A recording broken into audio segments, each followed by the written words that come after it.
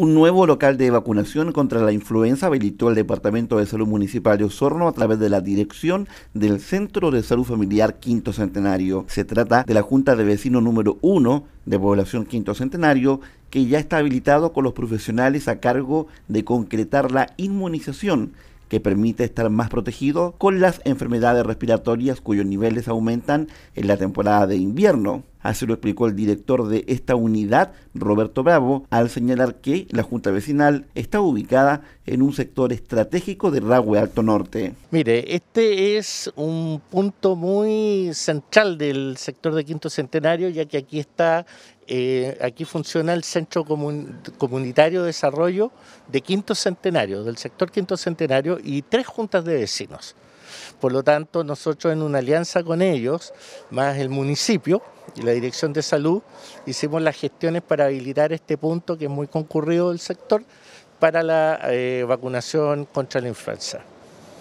Eh, dirigido principalmente al público de crónicos de, cualquier edad y de adultos, adultos mayores autovalentes que tengan la capacidad de venir acá a poder vacunarse.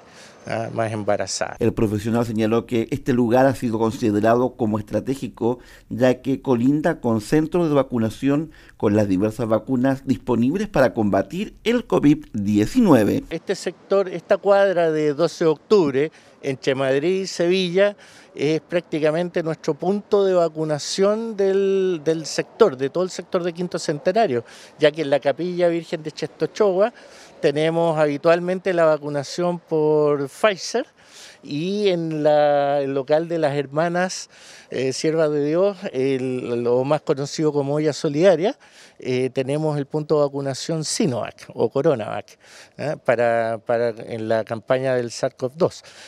Mientras que aquí en el Centro Comunitario de Desarrollo de Quinto Centenario tenemos instalado el punto para vacunación de influenza. Y de esa manera podemos cumplir con los aforos, la gente puede venir de manera segura y estar cobijada ante la del tiempo. De esta forma, el equipo municipal de la salud sigue buscando los espacios que cumplan con todas las condiciones para continuar con el proceso de inmunización que se debe cumplir durante el presente año.